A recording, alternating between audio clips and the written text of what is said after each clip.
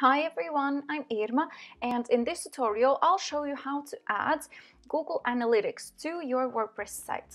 There are two ways of doing it and both ways include adding the Google Analytics code snippet to your site. And you can do it either with the help of a plugin or by adding the code manually. First, I'll show you how and where to get the Google Analytics code snippet in the first place. Start by logging into your Google Analytics account. I've done that already. So from here, go to admin here on the left and the bottom. And now here at the property, click on tracking info and tracking code. Okay, this is the code that we are looking for. So you can now either copy it or just leave this tab open because we will need it. Now I'll show you how to add Google Analytics to your website using a plugin.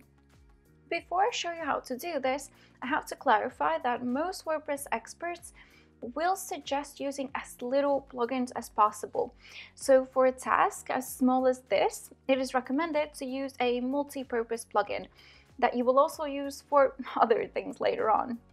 So with that said, I'll use the Visual Composer website builder to add the Google Analytics snippet because it is a full website builder and it also allows adding custom CSS and JavaScript to your site globally. When you've got Visual Composer installed and activated, go to Visual Composer here and then click on Dashboard. Now we'll have to open the CSS, HTML and JavaScript tab and now locate the custom HTML and JavaScript part here. So now we have to go and grab that Google Analytics code, copy it, and all you have to do is paste it in here. Now, save changes. If you don't want to use a plugin, let's move on to how to do the same thing, but without a plugin. To add the Google Analytics code manually, you'll have to modify your theme files. I recommend using a child theme for this to not mess up things in the theme that you're using at the moment.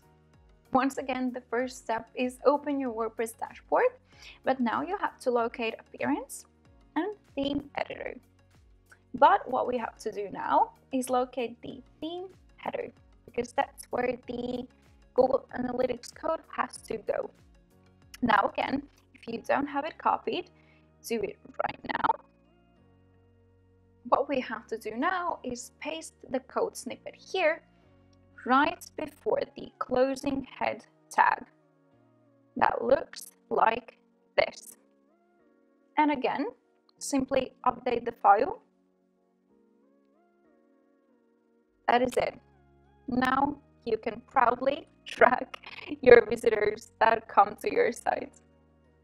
At this point, Google Analytics will start to track your site visits and you'll be able to better understand your traffic and where it comes from.